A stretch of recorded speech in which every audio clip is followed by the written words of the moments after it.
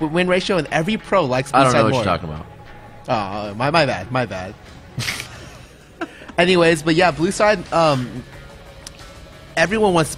Everyone always picks blue side. Yeah. If you're given the choice, blue side is always what you go for. It has a, it, the double golem advantage for bottom lane. It has. Um, I feel like it has better dragon control and just different and easier gank routes, except for Alright. for every lane except for uh, I think top. I think top.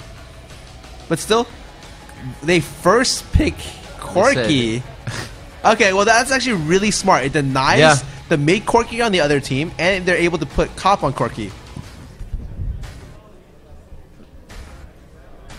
But still, very interesting pick. I'm curious to see what CLG EU would do in this That's- instance. It gives up Irelia if they want to just pick Irelia here. Gives up Skarner if they want to just pick Skarner here. I thought Skarner first pick would have been a good choice, but Sona's still up, Skarner's still up, Ori's still up. I don't see why Wicked wouldn't choose Mel or Irelia here. Like it'd be hilarious if CLG EU just picked like Ori Skarner here and just like completely just like made Curse play a new comp. They are hovering blitz. That Ori Skarner, you can definitely throw down. Nijaki has Morgana to play, so he can kind of close that out, get the Dark Bindings on a Skarner, and really shut down the initiation. So we'll have to see. You do have Blitz Amumu, gap, gap closers and gap bringers, if you will. I- But I- I love locked Blitz. In, I did is getting locked in. Wow. I absolutely love Blitz. He he is the most unique support. It allows you to play the most different level one strategies of any support in the game. And the Mumu is just like it's fun to watch because he can almost kill stuff by himself due to his, And we his, may, uh, Snoopy may even damage. choose, depending on what they choose top, whether it's just Bruiser or, or Tanky, you may go for the DFG build as well. Yeah, no, it's it's very strong on, on him on this current patch, and I, I just think Amumu jungle is pretty underrated right now. A lot more people are picking them up. Would you jungle Amumu? Yeah, absolutely. Oh, such absolutely. A, such a See sick that? champion. He eats hats and he jungles Amumu. wow, wow. Fantastic. We're right. going for a Fiddle More. That's actually really smart. There is the Morgana, yep. It, it prevents the Blitzcrank hooks from landing on key important targets, and it, it stops the Amumu ulti initiation. Bandage toss to fear. The Blitz, however, uh, a little bit questionable, but it's something that Elements has played a lot and is very consistent on. Last time they played this, Elements was able to single-handedly win the bottom lane against uh, Reddit Nation, aka Quantic Gaming, and so he's hoping to reproduce the same kind of success in this game. They have the lockdown long range right now. They do have the Ari. They have the Lux. I don't. I don't see Gragas being any choice in this competition. No. Gragas would actually be very interesting. You I, think so? I would think it'd be really fun to play Gragas because Gragas actually straight up beats Morgana in lane. Or I feel like you could, but I just see Snoopy whiffing bandage tosses all day as people fly around. I, I think I, I would love to see a TF here, just because I think TF is a ridiculously strong champion, especially when in, played in the right hands. I don't know so much about the Caitlyn Blitz. I'm sure it's still it'd work out okay, but Caitlyn is a champion that really needs a a competent either a steroid mid game or the ability to go like deep into late. You need to be able to force objectives with Caitlyn. So if you're gonna pick Caitlyn, you have to be able to to use Blitz to its full potential, force the early dragons, and force the either lane swaps or the uh, the lockdown the other AD carry. I think it's a complete, yeah, lane, like you said, lane swap. 2v1 with Blitz is almost impossible to farm with. Cop and elements. Oh, man.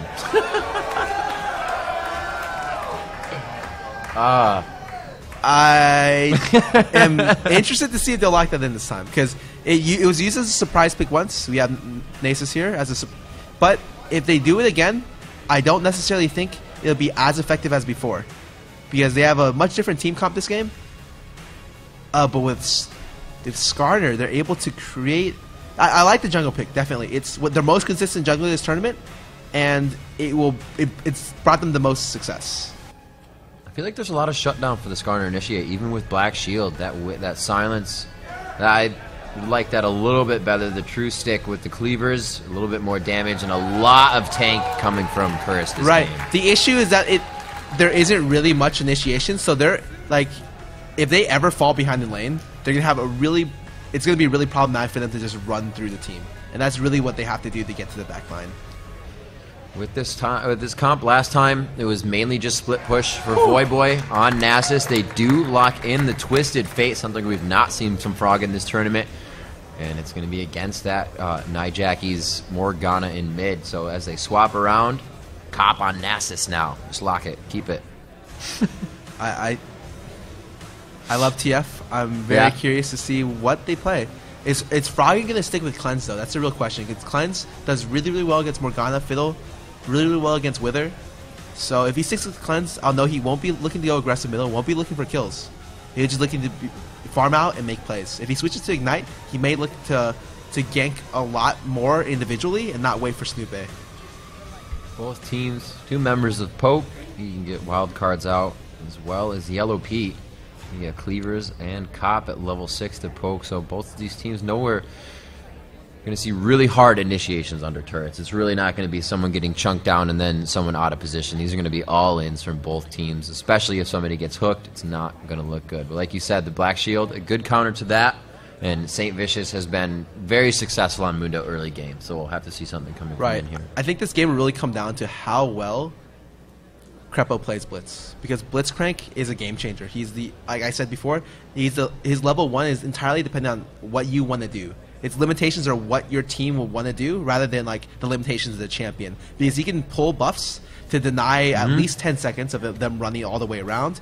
He's able to create uh, unique positions where you're able to Right. steal buffs from in directions that you normally wouldn't be able to go to in on, in places where you need specific wards to find. And so he's a very strong champion. I think multiple teams are picking him up now. He's first pick worthy, 100%. I like the fact that you said and pointed out that he creates the most level one opportunities because it is true in lane or out of lane as you were explaining the buffs, and then in lane the two v one swap. Even if you don't two v one swap, He, he also has the best Baron control of any champion in the game. And so when you're doing those Baron fights and you want to win the Baron fights, if you have Blitz, you, your Baron fight, your Baron control becomes automatically stronger. yeah.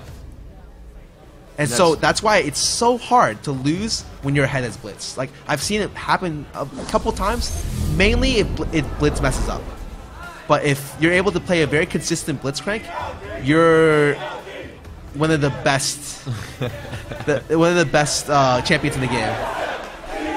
All right, guys. Oh my. God. Let's get this down for the real one.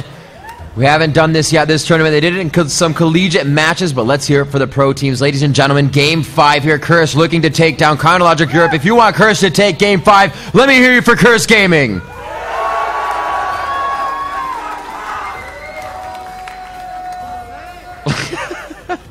and if you guys looking for counter, Logic Europe looking to show North America team still have some work to do. Let me hear you for Counter Logic Europe. Oh man. And there's, I think there's a little bit of TSM in there too, so good luck to TSM.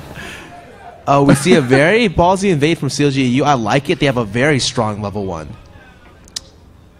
And But also, Curse is a strong level one as well with uh, Jackie and Elements putting that multiple silence. They're, that's such a strange area to camp for level one, especially with no war coverage on either on any angle. Like I feel like if you're gonna do that, you have to have a ward either on the approach or on the opposite side. That's a very unique ward location. They have Krepo warded from over the double golem wall just to make sure no one was in there. oh man. So very very smart play here. And they're they're traveling as five. Why would All right. They're all going to just participate in the experience of Wraiths.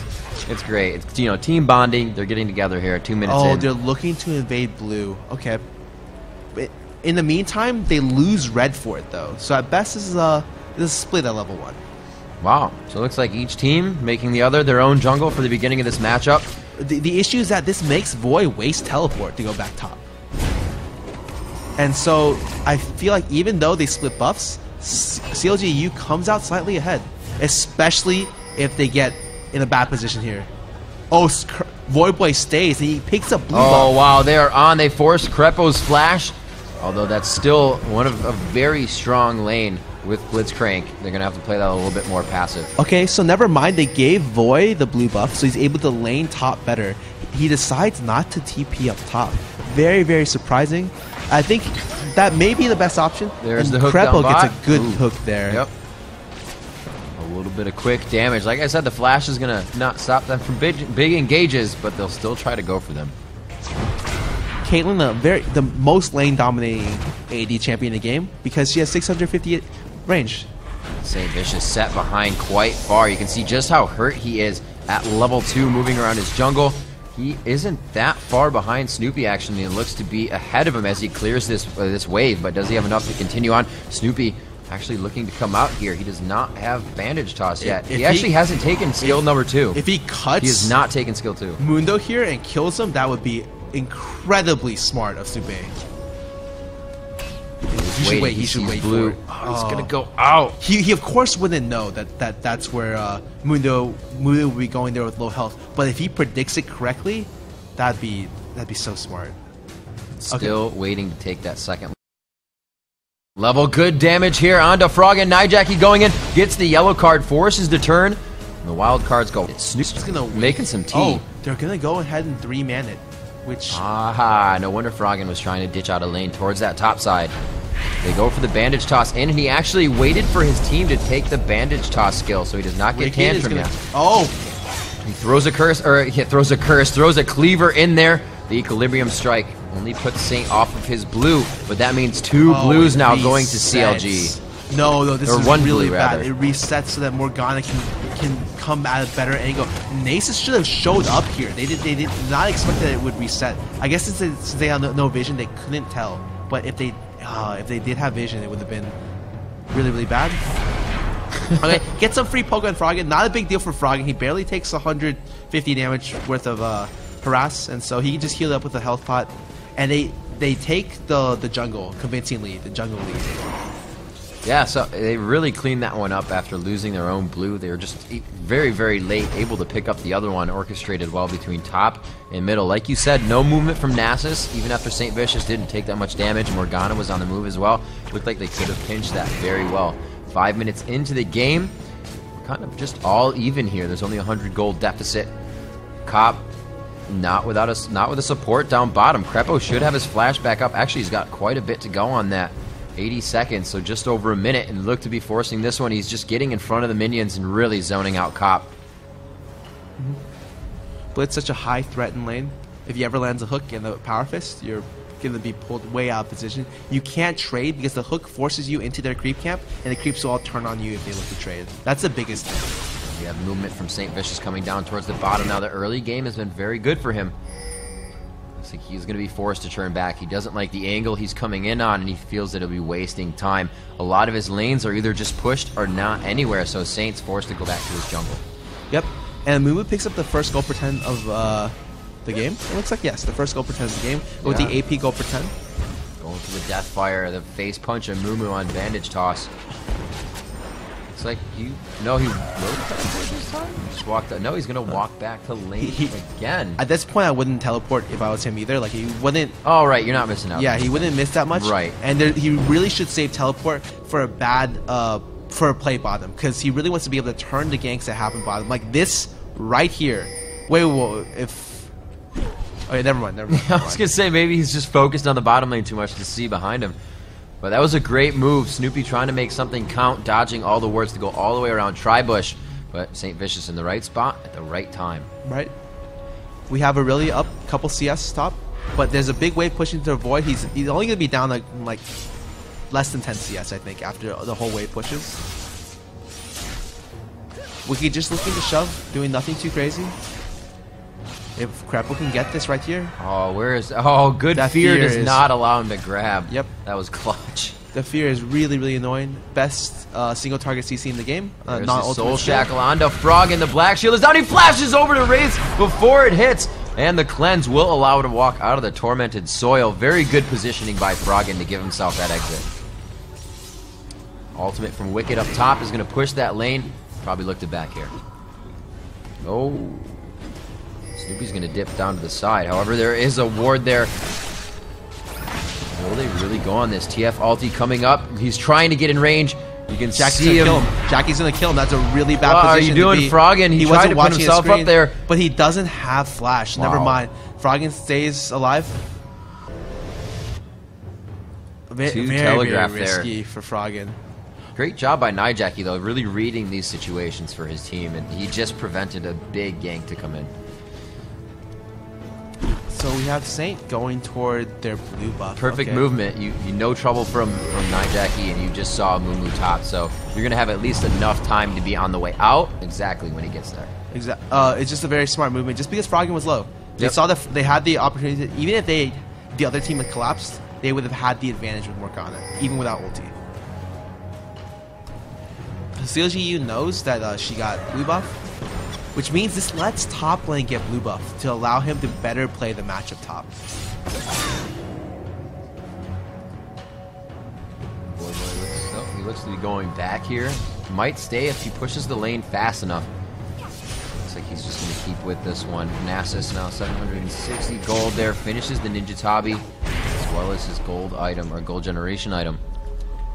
The wards being put out as well as Yellow Pete putting some traps down for coverage down bottom. I'm actually surprised he went Tabi over Mercs here, because there's so much CC in this game. I feel like Mercs is we go almost through this required. last time? Oh, for for okay. I thought you were talking about Irelia. No, I was no, like, no. wait a minute. We went through this last game, No, for uh, right? For Nah, yeah, the other team has CC on almost every single. eh, They have CC on every single person on their team, so it's really weird to see an early Ninja Tabi buy when off 700 gold he could have just bought a chain vest. I feel like that would have been a better buy. It lets him stay in lane though, and that's that's maybe all that he needs. Voyboy getting harassed down quite a bit. I don't know. Wicked isn't finalizing this fight yet. He probably doesn't have any wards, and he could just wait Snoopy to come up top. They could really get down on a kill here. And this is how I expect the lane to play when uh, you don't have a jungle camp. So when he was bottom and they played the same additional the same matchup there, it wasn't as bad. But here it's like it's really ridiculous. You can expect the ultimate quite soon from Voyboy. There he throws it on with the ignite. It's gonna just boost his health. Not really a heal there, so only affecting the health pot with the ignite. And Wicked is going to have the upper hand in this lane. The ghost is still up for Nasus, but his ignite is down. Voyboy, however, with his ultimate could probably finish the kill. That's going to be coming up quite quick, only on a 70 second cooldown. Froggen in mid, quite low CS for him and for 10 minutes. About 60 there. 100 minions have spawned, so he's falling behind to the 81 of Nijaki. Just, I think the push for Morgana and the dark bindings he's been hitting has been too much for uh, Froggen to just stay in range. Great zoning there in mid. The two good- good plays by Jackie here, as well as the blue buff steal, allowed them to pull ahead of Froggen. I think this is the first time I've seen Froggen down CS this, this entire tournament, which just speaks volumes about Froggen's ability to uh, last hit. See that lane still pushed. That has been frozen there for Wicked for the last two minutes. This Voyboy is forced to queue these minions as they get down, and as he has it Snoopy up, comes in, that ward is still there. oh, he's going in around. He will have the time to get there. The ultimate for Nasus is down. He has ghosted, and he looks to be getting out of this one, dodging by backpedaling on that, but there's just too much damage. There's the ultimate from Wicked. A few more blades. The, the cry goes down, and he grabs it with despair. And that's exactly what I'm talking about. See, Wicked is an experienced Irelia player and understands that they're both at max health and he E's, he'll get the stun. So over there, he didn't even risk it. He didn't try the Q and then E for the slow. He flashed and then E for the stun, guaranteed stun, and that's what allowed them to secure that kill. Even with Snoopy missing his bandage toss. As soon as Nijaki saw that aggression going down, you can see Froggen's health. He went super aggressive on middle. More to his right, he's been winning that lane. So very good play by Nijaki to keep that advantage in his lane, seeing that top is falling behind. And the minute top the this matchup top falls behind, I feel I feel like it's whoever uh, falls behind first loses the matchup. Such good poke from Nijaki. He's just getting every dark binding to land. He even looked to, to crest those minions to the left. He might even walk and try to get another dark binding here. He goes, no, yes, he goes to throw it in. So, Black Shield into Soul Shackle, but it just killed Snoopy before the second proc. Fiddlesticks going down as well. Can they catch? No, they're not going to go ahead and chase. They, they see Irelia's coming, or they, they sense Irelia's coming. Really, really smart uh, play there by the Fiddlesticks. Unfortunately, they traded one for one, but still probably came out on top there. Oh, grab onto Nijaki. Forced to just take a few turret shots. Great grab there. Voyboy taking harass top. Forced to wither. So much damage even through the wither. So good onto Voyboy, and he's just Right. continuously forced out of lane. Yep. Uh, look at bottom lane. You see Caitlyn. Oh, Caitlyn's doing a good job bottom lane. one v one. There's uh, it seems to be even. Then never mind. I thought Caitlyn was looking to bully uh, Corki as the, both the supports Right. leave. However, it seems like Corki's immediate burst damage is too high for uh, any AD carry really to deal with. That's just that's the reason why he's so strong. I think if, if, if Cop can get that lucky Phage proc here, he can really just go ham on this one. Yellow Pete's going to be forced to caliber net away, come back into it, and if Cop can do it again, you really have a good harassment on this lane. He just has to be careful of his exit. These traps could really mean the end of him.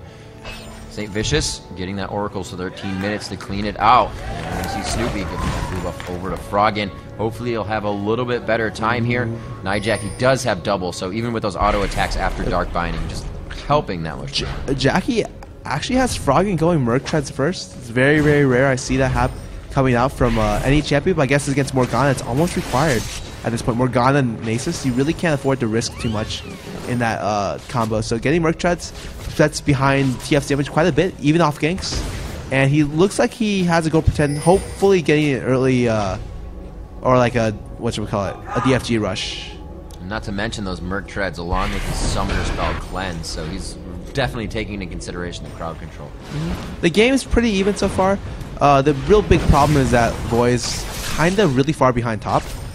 But in terms of the other lanes, Jackie's making up for it in mid. And Saint's been doing really well clearing wards, alleviating uh, lane pressure. Actually down bottom. So where's the next move here? Wicked has been pushing his lane out quite a bit top. They've been pushing out Froggen in mid. When do they come down for Dragon? Oh, Oh great grab God. onto Elements and Fiddlesticks with the fear, but he will go down. And you know what? I was just saying it. This would be a great time for Dragon. Yeah, no. Uh, the thing about CLG is they just they don't need a force dragon. They can just slowly wait for it. They wait till someone they someone goes top to, to beat Wicked because Wicked's so strong. Oh, it looks like we'll go back to that replay real, real, real quick and I'll talk about it later. So, Elements just get gets hooked into this trap. Real bad positioning there, and he just dies immediately. It was great positioning by them as well. Ward just died in that. And as you were saying, with the with the Dragon. Oh, it's it's just they have to send two top to stop Wicked, Right. and then as soon as they send two top, they can just four man force Dragon. No reason to do to risk going too hard in on it. The ultimate twisted advance going down, and he puts himself on the other side of the wall. I like it. Especially because Morgana's greatest strength is in that level six through nine, six through 10, 6 through eleven phase. Uh, you really can't win a team fight against her. If the, if the Morgana player knows what she's doing, I've seen many Morg teams force the level six to level nine team fight and just immediately crush everyone because their ulti is just so powerful at that time. Going in on Voyboy, he is going to throw his ulti down, and here comes Saint Vicious. Snoopy just on the edge of this one, and so Tanky going to throw down the ulti. Curse of the sad mummy as he cries all over. The Blade oh, Surge the gets him away from the Nasus damage. kill. He's able to use the Bush to dodge. The Wither is down. Oh, he stuns with Equilibrium Strike. One more Q, and Voyboy does pick up the kill. But amazing kiting coming from Wicked. Wow, really, really, really good last hit on the Ionic Spark. I did not expect that spark damage to do that much to get the kill. Great equilibrium strike there to just lock down. I really thought he was going to get out without dying. That would have been amazing. The pole looking for over the wall here. They're staying on that bottom side of the turret. They now see Krepo, and he's going to be forced out of that position. Nijaki. Ooh, is this going to be ulti? Yeah, lane. they're going to go for a kill on Super. He's dead, 100%. Snoopy Really good job by much. Jackie. So, should have just walked away. Why would Snoopy stay there? Uh, he didn't have vision on top lane. They didn't know that Jackie came in top because they only uh, Curse has a ward up there. So he literally just stayed behind the pillar and shot a skill shot. When a skill shot comes in from an Right. angle that you don't see, it becomes invisible for the start of the cast. This is true. You know, Jackie able to get a 17 minute death cap, deciding to skip to Zhonya's. I'm actually pretty surprised in that. I think he realizes that his team needs damage, but still. I don't know if it was worth giving up a Zhonya's rush for it. Everything he had. Yep. Top lane behind 60 CS now. And it really goes to show how important, how snowballing top lane is. If Voy got an early kill, imagine how this lane would have gone. The same would have gone the first game in the series. Yeah, yeah. This is the one time I think they they pulled out the hand that they've already shown. And CLG definitely took a different approach to it. They've been going at this completely different. There's invading by both teams, but Snoopy did a great job of getting himself back over to the other blue, and that's really where they took control. As you said, we didn't see uh, Ness or Voyboy coming down to help that situation, and things kind of started to spiral out of control from there. And look how defensively bottom lane Curse Lane is, is, playing. They're not going aggressive at all, even if they see members the, on the map, just because TF pressure makes them play uh, really safe. Like TF, TF just by being mid creates a lot of pressure on the side lanes. That a lot of pressure that really isn't like quantifiable. Really, it's it's something that's like that you can't judge. Yeah, that was awful. One boy just stands there, but oh, oh, he taunted Wicked, and Wicked said, "What wow. about it?" Takes him down to a tenth of his health. Wow. And Wicked not even going for a standard build this game. He buys a, a Merc Treads immediately, realizes Wither is the issue in his matchup, and then builds a Phage instead of going for the Wit's End, which I, which I respect. It's a really, really smart idea. On to Nijaki, a little telegraph there as Snoopy was coming in a little too far from the side, but they look maybe to go back in on this one. And count, or Kite in the counter gank. St. Vicious off to the side. Nijaki 165 to 157 of Froggen. The first time we've seen him on Twisted Fate this tournament. And not doing too stellar, but not doing lackluster either. Really keeping that lane into, you know, as you would say, a skill matchup. The two kills, however, coming in with Nijaki, just exceptional play in his roaming around the map so far. And they're looking to just force bottom lane. I'm pretty sure they saw that Fiddle had to go back. And in this 4v4, uh, they're taking a 4v3, and they know they can take it. TF ultis and just ultis back middle. Really smart. He ultis for vision. Not a lot of TFs do that. But they went to be 100% secure in their safety down here. It looks like it's going to be the full oh, attack. The Ignite yep. was used, and Wicked picks himself up a kill, wither or not. That double buff just absolutely terror in lane for him on Irelia. Yep, and Voy now gets the blue buff that, or uh, Wicked gets the blue buff that Voy had. Yep. So Wicked is such a strong presence top lane now. Bottom lane looking lane to make aggression. a play. Oh, a little bit wow. too much. Surprise coming from Fiddle. They all actually flash in for this when They do find Yellow Pete. Looks like St. Vicious is pretty hungry, but he will back off eventually. Two going in towards mid, and you can see Counter Logic trying to create that counter pressure as they see their lanes getting pushed. Top lane doing well, bottom lane getting pushed, so let's go for mid. When you look at the, the CS wave that Top is missing there, that's at least, I think he had missed at least two waves there. And it's going to be another one now. Yeah, the top lane just looking very, very grim. 90 CS difference now. That's that's quite a bit especially at uh, 20 minutes. 90 CS is about half the creep wave. And they're just waiting for this, for this gank. Voy's actually playing really smart, but I don't know if he realizes that this they're they're waiting this I long like this. for this. Irelia should go all the way around that backside. Amumu to push him this in. Wicked has flash. He may indeed go for it. The Equilibrium Strike would easily get a Mumu's Bandage toss in. In time, there's the Blade Surge. Equilibrium Strike is they right there. He's going to get inside of this. Throwing down Curse of the Sad Mummy first. Voyboy has just gone to lane and finds himself going down again. You see Froggen teleporting in for the kill. Really was just trying to get some damage down. Yep. Very, very smart play by CLG EU, knowing that Voy is very weak and they can look to just pick him off and get free gold off him. So, a huge weak point now for Curse. Voyboy going down time after time, not able to finish that Frozen Heart as early as last time and really bring this team into a, a fighting position for five on fives. And they're going to be missing that as well. St. Vicious again going for his very tanky build. Probably see him coming into that uh, Randuin's quite soon.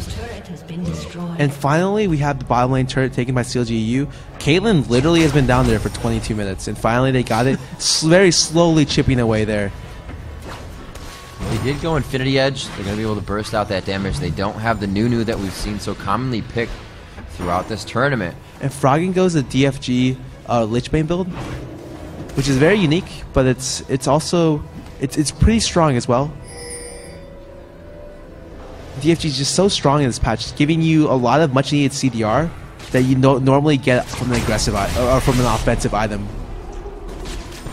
We're 23 minutes into this one, Scara. good amount of gold lead, 6,000 gold lead at 7 to 4. Not too many turrets down. Where's the entry for the next fight? Counter Logic with a pretty good lead here. What are they looking for? I think if they can just force a fight here, Wicked is so strong. He has Oh! so strong right here. Stop Saint Vicious there. They know the grab is down. Saint, however, taking a bit too much damage. They turn off of this. If Krepo just hooks blue. Oh, whoa. Well, Element's a little out there. It's going to be the Destiny in from Froggen. They clean up one, and now it's going to be a retreat coming in from Curse. The blue buff will go over to CLG EU, and they start to control the jungle, slowly controlling this snowball, rolling it down the hill. That's Not even needing Wicked for that fight. That was really Or smart. For the, yeah, with, with the t- with the TF ulti, they were able to see the elements split off, and against any other team, like splitting off like that is fine. But against a TF, you cannot do that. You have to stay group when you back out. Wickd having a Trinity Force and his Ionic Spark with Merc Treads, he's, I think, the most farm champion in the game right now. And really, no one can 1v1 them. Wickd just could just look to split push all game. That's it. I'd say this would be a perfect time to push that bottom wave. Just get it out. Even if you show too many members, you have a Mumu top as well, and you have your whole team covering that. Yep, the Yellowpete just has vision of wards. People trying to cover that. Mid turret's going to be lost. It looks like Pete's going to back. They got there quite quickly. Curtis is trying to put the pressure on now. Saint got grabbed. I don't think too much is going to come out of this. He's a little too tanky for just one grab. Right, still a 7k gold lead, but uh, you need turrets to get back into the game. So very smart play by Curse. Overdrive is on. Krepo again looking for an initiation here. CLG with a really great way to start these fights, whether they want to get into the fight or pull somebody out of the fight. They have both options. It's really up to Nyjacky to hit those uh, black shields, dark bindings well to start off the fight for them. Fiddlestick's not doing too much damage for his team yet. Really just going for damage reduction for himself. Can't even get the aura items out, but he's helping with the map control. You can see how many uh, wards being placed around here by CLG EU just to keep vision, and the same coming out from Curse. Ooh, boy is dead here. Voyboy is not having a good day. Throws on the ultimate right away. Has Saintvicious on the outside, but here comes Destiny as well. It's going to be Froggen joining the fight.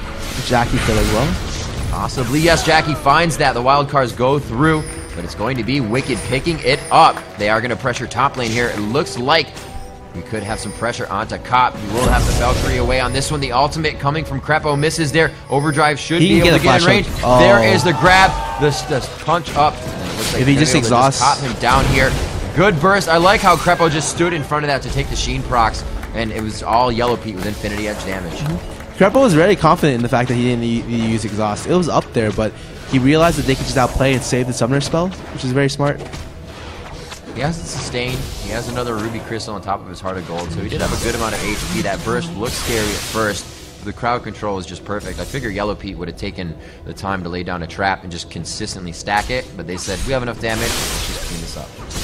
Yeah, Jackie's still a little bit away from his uh, Zhonya, so they really it's really going to be hard for them to team fight without it. He's he has 1500 gold to go, so he just picked up his large rod. Looks like we're going to get a dragon here for Snoopeh. The Baron is still up. I think teams, at least CLG EU is ready with the damage to take dragon, or at least dance it out. I don't think they're